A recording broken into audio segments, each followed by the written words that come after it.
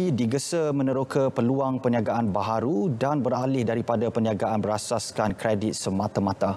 Menteri Pembangunan Usahawan dan Koperasi Datuk Seri Dr. Wan Junadi Tuanku Jaafar menegaskan langkah itu bagi menjamin kepelbagaian sumber pendapatan serta kelangsungan koperasi pada masa hadapan.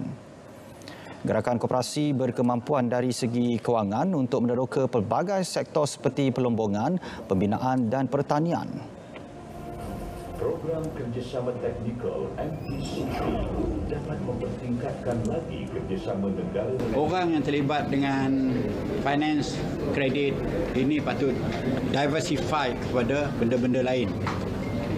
Benda-benda lain. Kita mempunyai sumber kewangan yang besar. Contohnya satu koperasi yang saya tanya kat bawah tu tadi, dia kata dia punya tahunan tu ada 100 lebih juta. Kata 100 lebih juta tu berkemampuan koperasi itu terlibat dengan apa bidang dia mahu aja.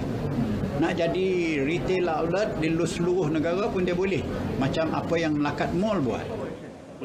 Beliau berkata demikian pada sidang media perasmian Seminar Digitalisasi Koperasi dan Teknologi Lab IR 4.0.